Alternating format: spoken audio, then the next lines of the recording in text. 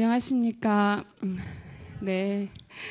오늘부터 여러분들과 함께 대성불교사를 공부하게 된 소운이라고 합니다. 어, 이분 강좌에서 여러분들과 함께 공부하게 될 것은요, 어, 불교가 흥기한 인도 불교를 시작으로 중국 불교 그리고 한국 불교를 중심으로 공부하고요. 우리가 시간이 남으면 인도 불교와 티베트 불교를 걸친 대성 불교권에 관한 어, 불교사를 공부하게 되겠습니다. 근데 우리가 어, 처음에 그럼 대성 불교라는 게 과연 무엇이냐? 근데 이 대성 불교는 좁은 의미에서 보면 어, 기원전 1세기 인도에서 소성 불교의 반기를 들고 새로운 어, 운동으로 일어난 대성 불교라고 어, 칭할 수 있습니다. 그렇지만 넓은 의미에서의 대성 불교는 실제로 어, 인도에서 일어난 이후에 어, 중국, 중앙아시아, 그 다음에 한국, 일본, 티벳 으로 어, 이어지면서 많은 사람들이 어, 실천하고 지금도 실천하고 있는 현재 진행형의 불교입니다. 그래서 우리가 이번 이 강좌에서는 인도에서 불교 대성 불교가 왜 발생했는지를 어, 인도 불교사적인 강점에서 살펴보고요. 이 대성 불교가 다른 지역에 전파되어서 언제 시작되었고 어떻게 발전 전개되었는지에 관해서 살펴봅니다. 그래서 사실 이번 강좌의 목적은 단순한 학문적인 성격의 불교사를 살펴본다기보다는 대성 불교사를 통해서 한국 불교에서 실천하고 있는 수행이나 신행, 지금 내가 실천하고 있는 수행이나 신행이 새롭게 바라보는 계기를 마련하고요. 앞으로 우리가 미래의 불교를 어떻게 이끌어 갈 것인가 하는 것을 생각해 보는 어, 그런 시간이 되겠습니다. 그리고 이제 여러분들이 아시다시피 사실 대성불교라고 하는 것이 2000년이라고 긴 역사, 그 다음에 지역적으로는 중앙아시아, 중국, 한국, 일본, 티벳, 그리고 현재에는 미국이나 유럽까지 어, 강범위한 어, 그 지역을 통해서 어, 펼쳐져 있거든요. 그래서 이제 그, 어, 그 여러분들이 그 각 시대 불교사를 공부하는 동안에 지금 내가 공부하는 게 어느 시대에 속해 있는지를 점검하시면서 공부하시다 보면은 훨씬 더 이해가 되실 겁니다.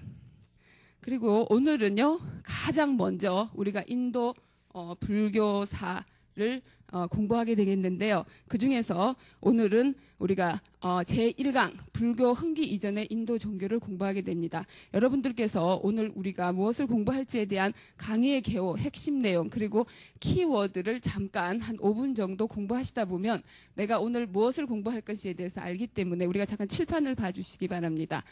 어, 인도 불교가 어, 인도에서 흥기하기 이전에 어, 인도 종교는 과연 무엇인가? 그래서 이제 제일 먼저 우리가 아리아인의 인도 진출이라고 하는 것을 공부하게 됩니다. 이것은 어, 도대체 인도 문명을 어, 최초로 이끈 사람이 누구냐? 그리고 어, 그들이 어떻게 인도에서 문명을 시작하게 됐는가 하는 것을 어, 중점적으로 공부하게 됩니다. 그래서 여러분들이 이 부분을 공부할 때는 인더스강, 펀잡, 인도 아리안이라고 하는 단어에 집중하시면 됩니다. 그 다음에 어, 인도 아리안들의 종교인 바라문교가 어떻게 성립했고, 그 다음에 이 바라문교가 어떤 특징을 갖고 있는가 하는 어, 것을 공부하게 되는데요. 거기에서는 인도 바라문교는 어, 다신교고 그래서 33신을 어, 숭배하고 있고요. 그 다음에 이제 성전으로서는 배달을 성전으로 하고 있고 그 다음에 이제 그 신에 의해서 만들어졌다고 해서 청계 문학이라고 하는 어, 이런 문학을 만들어내게 됩니다. 그래서 여러분들이 이 부분을 공부하실 때는 이런 키워드를 잘 어, 집중해서 보시면서 어, 강의를 들으시면 훨씬 도움이 됩니다. 그 다음에 이제 세 번째는 저희가 베다와 우파니샤드 철학이 무엇인가에 관해서 공부하게 됩니다. 어, 이 바라문교의 가장 핵심적인 것은 뭐냐면 베다 성전을 절대적인 어, 절대적으로 신성시한다는 겁니다. 그래서 이 베다 성전이 완성됨과 동시에 어, 바라문 교의 철학이 완성되게 됩니다. 이 베다 성전은 기원전 15세기에서부터 기원전 6세기에 걸쳐서 어, 만들어지게 되는데요. 이 베다가 어떻게 구성되고 어떤 내용으로 언제 만들어졌는지에 관해서 이제 공부하게 되고요. 어떤 철학이 어, 베다에 어, 의해서 만들어졌는지. 그래서 여기에서는 사베다, 브라흐마나, 아란야카, 베단타, 범아일여, 브라흐만, 아트만 같은 이런 단어들에 집중해 주시면 됩니다. 그 다음에 이제 마지막으로 어, 바라문교의 어, 특징의 하나인 사성제도 어, 사성계급 제도의 형성인데요. 어, 바라문교의 또 다른 특징의 하나가 무엇이냐면 바로 바라문을 신과 같이 성직자인 바라문을 신과 같이 절대시한다는 겁니다. 그래서 바로 그 이 제사를 지내는 제사장인 바라문을 절대시하고 그것을 세습하기 위해서 만들어진 것이 바로 이제 사성제도 계급인데요. 여기에서 그러면 어 사성의 사성은 누구를 말하는가? 그 다음에 이제 왜 사성 계급이 아직까지도 인도에서 어, 남아 있는가 하는 이런 문제들을 집중적으로 공부하게 되겠습니다. 그래서 여기에서는 여러분들이 바나문, 크사트리아, 바이샤, 수트라 같은 이런 단어들에 집중해서 어, 강의를 들으시면 됩니다. 아, 그러면 이제 개요는 이 정도로 말씀드리고요. 이제 오늘의 강의에 들어가도록 하겠습니다. 우리가 제일 먼저 책을 보면 어, 인도 불교를 시작하기 전에 꼭 어, 인도 불교 이전의 인도 종교가 무엇이냐 이런 거를 꼭 물어요. 근데 뭐 불교만 공부하면 되지 뭐 그걸 꼭 해야 되나 뭐 이런 생각을 가끔 하시게 되잖아요. 근데 왜 그러면 우리가 어, 인도 불교를 공부하기 이전에 불교 이전에 인도 종교를 꼭 공부해야 되느냐? 사실 몰라도 상관없지만 우리가 아는 이유는 어, 불교가 흥기하게 된 그 지역의 어, 사상적 배경을 이해하고 그 다음에 그 시대에 왜 불교가 이 땅에 흥기할 수밖에 없는가? 바꾸어 말하면 부처님께서 이 땅의 중생의 고통을 어, 구제하기 위해서 왜 출연하셨는가 하는 문제를 어, 다시 한번 어, 이 당위성을 짚어보기 위해서입니다. 그러니까 이제 부처님이 출연하기 이전에는 사람들이 아, 어떤 어, 말 못하는 고통이 다 있는 거죠. 그것을 그 해결하지 못하는 것을 부처님이 아시기 때문에 인간의 고통을 해결하기 위해서 수행을 하시고 그다음에 성도하셔서 제도하신 거거든요. 그래서 지금도 우리도 2600년이 지난 지금도 우리가 부처님의 가르침을 통해서 구제를 받는 겁니다. 그래서 이제 왜 불교가 그 시대 그 땅에서 태어날 수밖에 없는가 하는 당위성을 잠시 우리가 살펴보기 위해서 어, 불교 흥기 이전의 인도 종교를 살펴보는 것입니다. 그래서 이제 앞에서 말씀드렸지만 어, 도대체 그러면 인도 문명의 어, 주역은 누구냐? 어, 인도 문명은 참 여러, 인도는 여러분들이 가보셔서 아시겠지만 사실 여러 민족이 혼합되어 살고 있어요.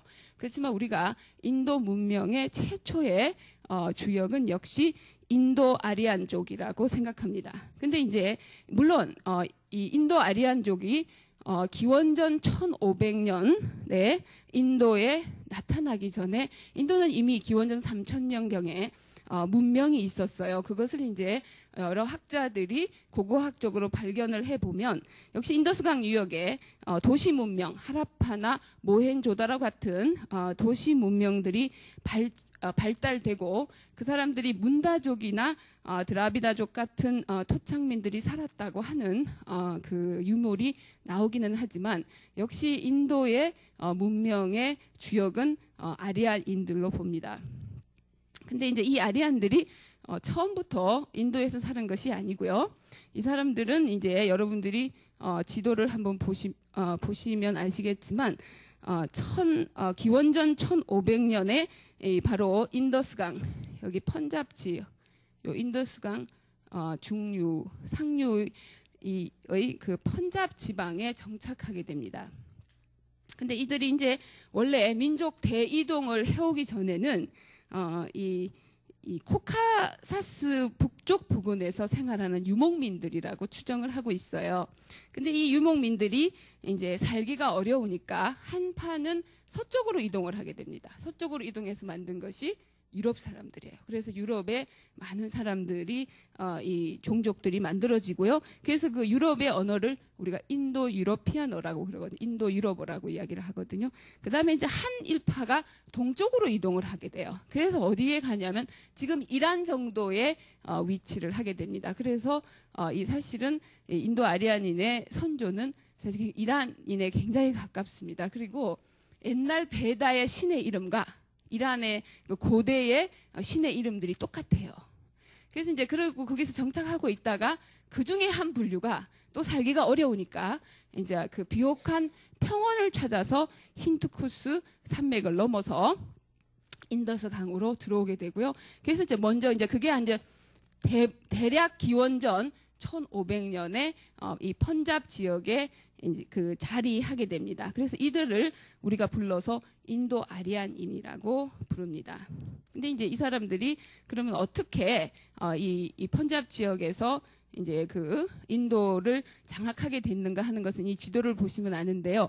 기원전 1500년에서 1000년 사이에는 인더스강의 펀잡 지역에 있다가 다시 어, 이 사람들이 유목민이라는 게 계속 이동하는 거잖아요. 어, 뭐, 노, 더 좋은 땅을 찾기 위해서 이동을 하게 되거든요. 그래서 이제 다시 어, 동남쪽으로 이동을 해요. 그래서 기원전 1000년에서 어, 700년 사이는 이, 이, 그 인더스강 아니 겐지즈강 상류 지역 그 사이로 이 지도를 보시면 됩니다. 그 사이에 다시 정착하게 됩니다. 거기서도 이제 어, 이 만족하지 못하고 기원전 700에서 600년 사이에 이제 겐지즈강 쪽으로 다시 이동을 해요. 그래서 이제 부처님이 탄생하시는 기원전 6세기가 되면 어, 인도 아리안인들이 펀잡에서 요 끝에 벵골만까지 다 장악하게 되거든요. 이렇게 이제 이동을 하면서 이제 그 인도 아리안들이 인도의 어, 문명의 주역으로서 자리를 하게 됩니다. 아, 근데 이제 이들의 종교는 과연 무엇이냐? 이제 인도 아리안의 어, 종교를 우리가 어, 바라문교라고 어, 말을 하는데요. 왜 그러면 바라문교라고 하느냐? 아까도 말씀드렸지만 어, 이, 어, 이 사제, 즉 제사, 신의, 신에게 제사를 지내는 사제들을 바라문이라고 하는데요. 이 바라문에서 바라문교에서는 이 바라문의 권력이 절대적입니다. 그래서 이제 그 전력 권력이 절대적이기 때문에 바라문교라고 칭합니다. 이 현재 인도는 무슨 종교죠? 힌두교, 힌두교가 많죠. 그 힌두교가 바로 이 바라문교의 근대적인 그런 형상이, 형상입니다. 근데 이제 이 바라문교는 어떤 성격을 가지고 있는가 하면 첫째는 다신교예요. 그래서 이제 바라문교에서는 어, 자연의 구성 요소들을 신격화하게 되는데요. 그 중에서 이제 하늘, 땅, 그 다음에 허공에 3개의 33신이 있다고 여기 33신이 있다고 이제 어, 하고요. 그 다음에 어, 이들이 말하는 성전 배다는 바로 이 이들 신 33신의 신들의 창가 찬양하는 노래를 모아놓은 것이 바로 어, 배다입니다.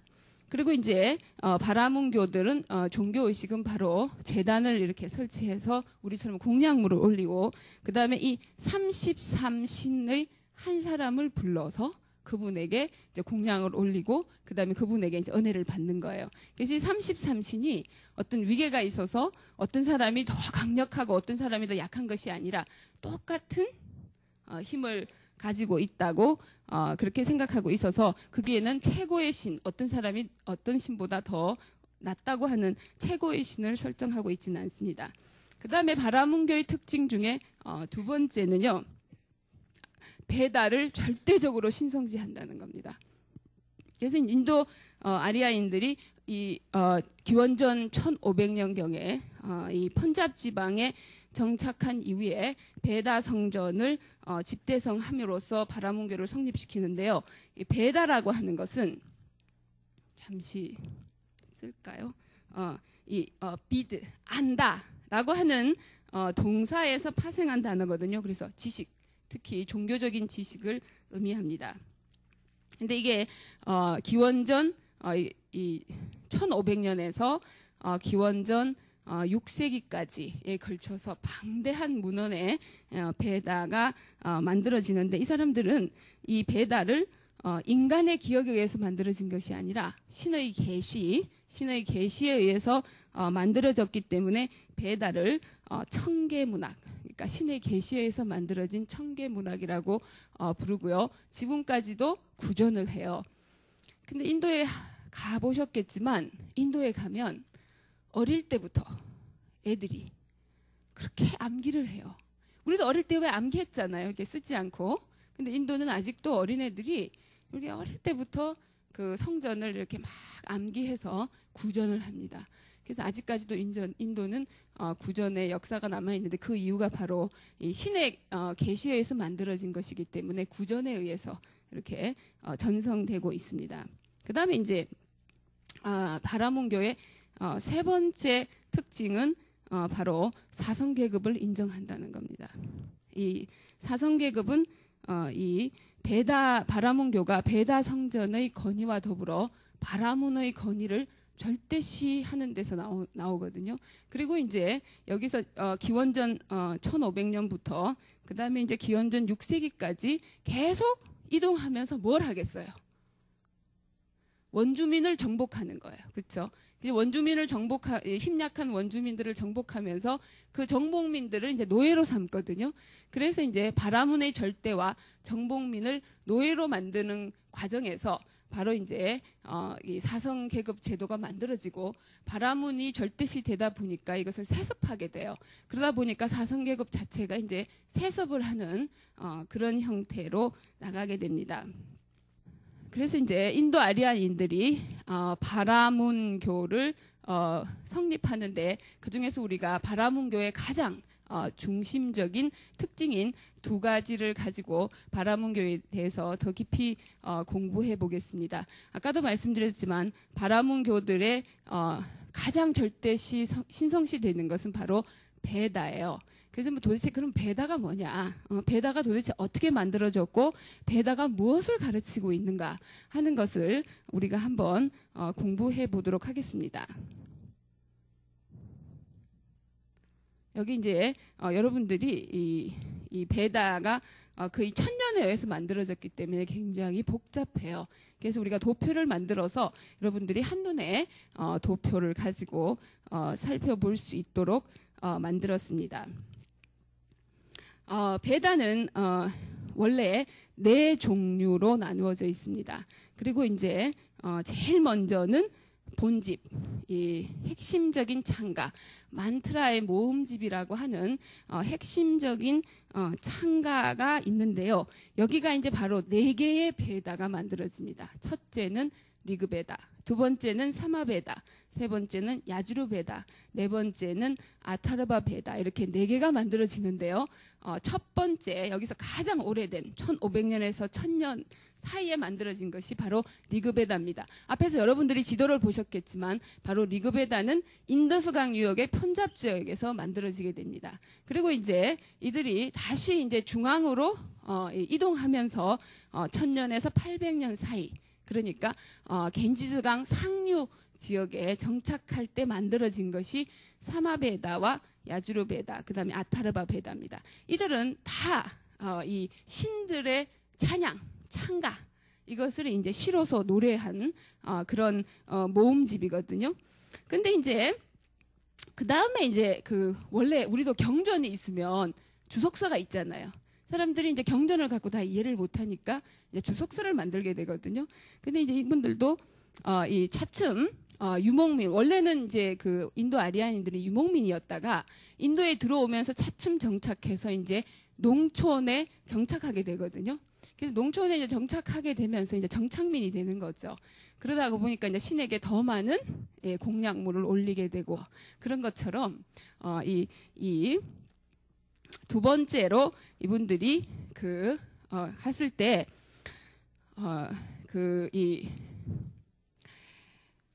어, 제사를 더 많이 어, 이 실행하면서 제사의 규칙적인 어떤 어, 이 어, 뭐라고 해야 되나요?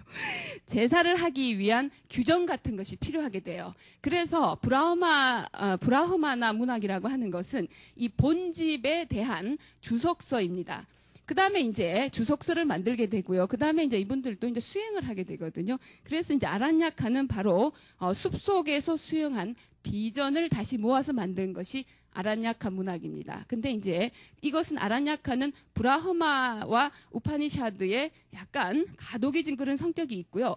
이 베다에서 가장 중요한 것은 바로 우파니샤드입니다. 이 우파니샤드는 어, 역시 어, 그 이 스승에서 제자로 구전되는 비밀스러운 가르침을 집대성한 문학이기도 하고요. 이것은 이제 어, 이 처음 리그베다에서부터 시작해서 어떤 철학적인 어, 통일 원리를 찾는 데 있어서 가장 정점을 이루어서 우리가 버마이려 사상이라고 하는 어, 바라문 교의 가장 어, 최고의 철학을 여기에서 완성하게 됩니다. 이 버마이려 사상이라고 하는 것은 우리가 어, 이 우주의 근원을 브라만 이라고 보고 이것을 개개인의 생명에 내재하고 있는 아트만과 동일시하는 철학으로서 바라문교의 가장 핵심적인 철학이 바로 이 우파니샤드에서 만들어지게 됩니다.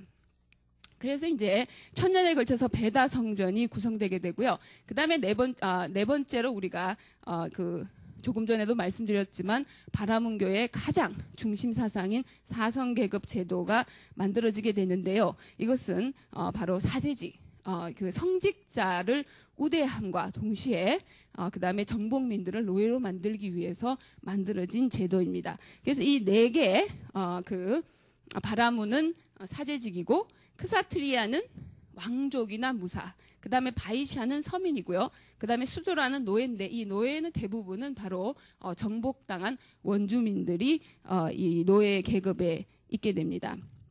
근데 사실은 인도가 현재까지 이 사성계급 제도를 계속 어, 지속하고 있어요. 어, 근데 사실 현재는 민주주의이면서도 불구하고 인도에서 사성제도 제도가 계속 남아있는 것은 바로 힌두교 때문입니다. 절대 다수 힌두인들이 어, 그, 그 자체로 사성계급 제도를 인정하고 있기 때문에 있고 우리가 여기에서 이 사성계급 제도를 볼 때마다 부처님의 위대성을 다시 보는 것은 부처님은 처음부터 시종일관 지금까지 바로 사성 어, 제도를 타파하시고 인간의 존엄성에 의해서 인간이 누구든 대우받아야 한다라고 하는 것을 말씀하고 계시고요. 그래서 사실은 요 근래에 인도에서 다시 불교로 개종하는 어, 많은 사람들이 수드라 즉 노예 사람들이 어, 불교나 무슬림으로 개종하는 이유가 바로 이 사성계급 제도에서 탈출하기 위해서거든요. 나도 인간처럼 살고 싶다는 거죠. 그래서 이제 어, 이, 이 인도의 새로운 불교의 중흥기를 만드는 암베드카르 같은 그런 분들이 바로 어, 불교 부처님의 가르침이 아니면 인도에서 사성계급 제도는 타파할 수 없다라고 하는 것 때문에 이제 불교로 개종한 어, 아주 그 위대한 어, 그런 그 어, 이 사건이 있습니다. 그래서 오늘은 어, 여러분들과 함께 불교 흥기 이전에 인도 종교에 관해서 공부했고요. 여러분들이 기억하실 것은 인도의 문명의 주역은 아리안인들이고 어, 그들의 종교는 바라문교입니다. 그리고 그들은 어, 베다를 어, 최고의 성전으로 받들고 있고 그 다음에 사성 계급 제도를 만들어서 바라문의 절대적인 권위를 통해서 신들에게 제사를 지내는 어, 그런 종교의 어, 종교를 가진 사람들이라고 하는 것을 기억해 주시면 좋겠고요. 다음 시간에는 이러한 바라문 교에 도전하는 신앙 사상가들이 어떻게 등장하는가를 다시 공부하게 되겠습니다. 자, 그럼 감사합니다.